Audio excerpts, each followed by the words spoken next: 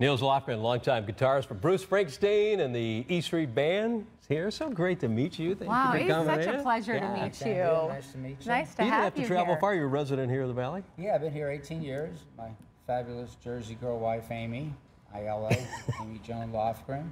And, um, you know, I love it here. Of course, the summers are a little rough.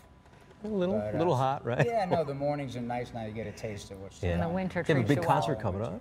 Yeah, October 3rd, actually, uh, playing at the Talking Stick, Uh-huh.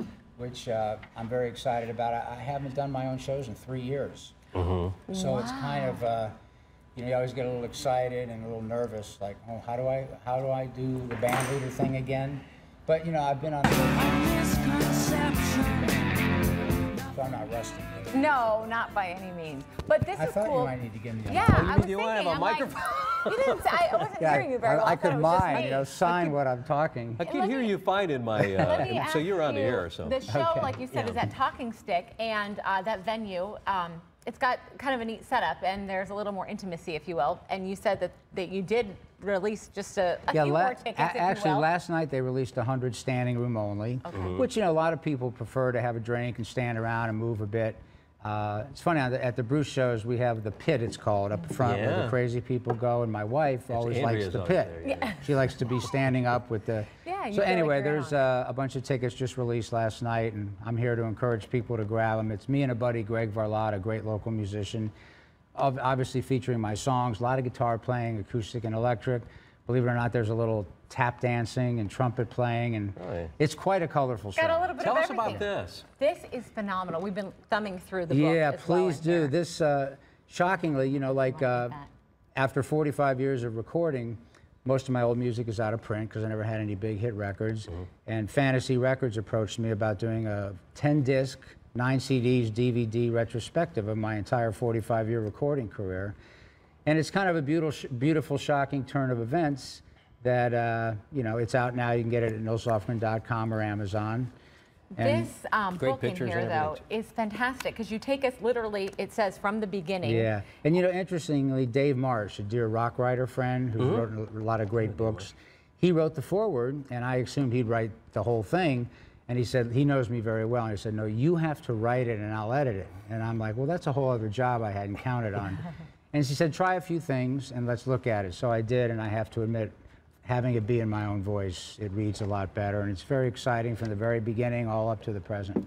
Congratulations, uh, the, the uh, induction into the Rock and Roll Hall of Fame. Yeah, that was, was- this year, right? Yeah, that was May What, what took so long? That's what we that's what we thought. You know, it was bittersweet. I mean, my wife's from you know the New York area, so being there for a few days, going to Brooklyn. In addition to the band and the families we know and love, you see a lot of great musicians like Bonnie Raitt and people like that. You're such that are your heroes, and me and Amy love. So it was a beautiful few nights, and it was bittersweet because you know our, our dear friend Clarence and Danny, my bandmates, passed away, mm-hmm. and we th- we thought the Rock and Roll Hall of Fame should have figured it out before we lost them, and they mm-hmm. should have. Mm-hmm. Nevertheless, it was a beautiful uh, honor, all, long overdue, but it, it happened nonetheless. It's funny, you guys have, you know, your heroes and you're our heroes. Yeah, yeah. Well, you know, you all, i- it's funny, uh, it, it's, that's how it works. Uh, Yeah. Back in the 60s, I used to sneak backstage at the cellar door in Washington, D.C., and like Muddy Waters let me watch them play cards. Then I'd go to see two shows in a 200 seat club with a full balcony, so like literally you're right on top of them. Yeah. And those are such powerful moments. And I saw Jimi Hendrix a lot. On my 19th birthday, I opened for him in Wow. uh, California. There's a story about that. A lot of good stories in this uh, I box bet you have more stories uh, than you could probably even I write in do. You here, know, don't you? b- back then in the in the '60s, it wasn't such a, a billion dollar industry. So you know, you I could, you know, I was kind of unassuming and uh, waif like, and I'd take my guitar backstage and say, Jeff Beck has to use this tonight. He's expecting me, and I could sneak in a lot of places and meet my heroes and get some advice. But uh, it was a different time, and I, I feel blessed to grow, have grown up then. Played with Ringo Starr. Well, you know, thanks to meeting him on uh, the Born USA tour uh, in London, there was a big late night birthday party, and um, he gave me his phone number. So stay in touch. We started calling. He'd see me play in London a lot, And in '89, he called, and it was beautiful because he said, "Hey, I'm doing the first band Like, I've ever." does ever." he just call? Like, you just uh, answer the phone, you're like, it's Ringo Starr calling me. I know. Well, I still how feel does that, that, way. work? well, you know, when you're sitting there late at night at his party, and, he, he, and I waited all night long. There was a jam session in his studio, and I waited all night long to play with him, and I did. Ah. and it was lovely, and we were talking. We were both drinking kind of heavy then, and you know, he said, "Hey, here's my phone number. Stay in touch." Like, so I did. I just kept calling. Did you just call him? Say, I'm just trying to stay in touch. yeah, exactly. Yeah. And, I'd go to England every year and play, and he'd come see Yeah. me. So in '89, he called. I was in LA, and uh, he said, "Hey, I'm putting an all-star band together. It's a round robin, so everyone does a couple of their own songs because Uh-huh. I don't want to." He wants to go up front for a minute, but he wants to play drums too. Yeah. It's a beautiful thing in his first band. Um, he's done it. He's still doing it. In fact, this Sunday, my wife Amy and I are driving to LA. Him and John Barbados have a day of peace, and his band's playing, and he asked me to sit in with him. But nevertheless, you know, I'm sitting there going, you know, Ringo's just asked me to be in his first band since the Beatles. And I was out of my mind. I said, when are we rehearsing? He gave me an overview, and I said, well, thank you. And I was getting ready to say goodbye. He started laughing at me. He said, well, don't you want to know who's in the band? And I said, "Well, you're you're the band leader, right?"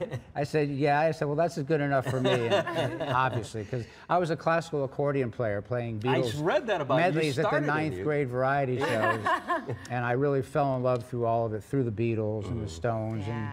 You know, discovered all the great American blues, Stax Volt, Motown through the Beatles, really. So when you're with uh, uh, Springsteen and the E Street Band, you know, you're playing with a group of guys, but now you, you do solo. It's a lot different, right? Yeah, it's I mean, funny because now I've been of practice, practicing for my shows, Yeah. and I think I do really good shows. I bet I jam a lot, I stretch out a lot, and uh, I, I'm up to the challenge. But it's funny because after 26 months with the E Street Band, you know, Bruce sends you out front, you do this two Yeah, minute yeah. solo, and you know, you're just shaking with adrenaline, and then you go back in the dark and play a nice acoustic part, or you play nothing while he uh-huh. takes over. Yeah. And I keep reminding myself, no, no, no, it's your show. It's There's never you. no take a break. And I'm just, it's funny because my system's so used to like, okay, I did my bit, now I take a break. Now your energy There's has no to be break. up the Yeah. whole Yeah. time. But you know what? This is, this literally this week is uh, 46 years on the road. wow. And I've done thousands of shows, and I've done more of my own shows even than you know the E Street Band and bands with Neil Young and Ringo. And I'm very blessed because I love being in bands, and I really thrive in the live environment. So me and my buddy Greg Varlotta plan to do a very colorful, exciting, I hope hopefully ins- inspired show October 3rd at the Talking Stick. It's for you. We have just one minute left. We wanted you Yeah, to do we- some stuff for us. Well, I mean, they, they asked me to try to stump you with some riffs. Oh, you wanna, no, no. Uh, well, this will be easy. I'll start with some. You, you Yeah, try you to. say this will be easy, and then we're gonna be. Well, I'll, I'll play a riff and you tell me what it is. All Okay. right. Pretty woman. Pretty Woman. There you go. Roy Orbison. There you go. Yeah. Okay, How about this one?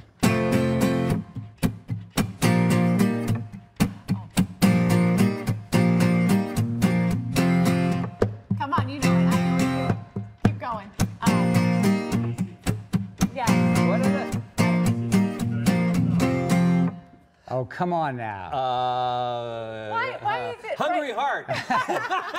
Good try. Highway Born to in Hell. USA. There we go. Highway to Hell. Oh, yeah. ACDC. Okay. Oh, let's try. Okay, let's, Let's try one again. more. um, Oh yeah.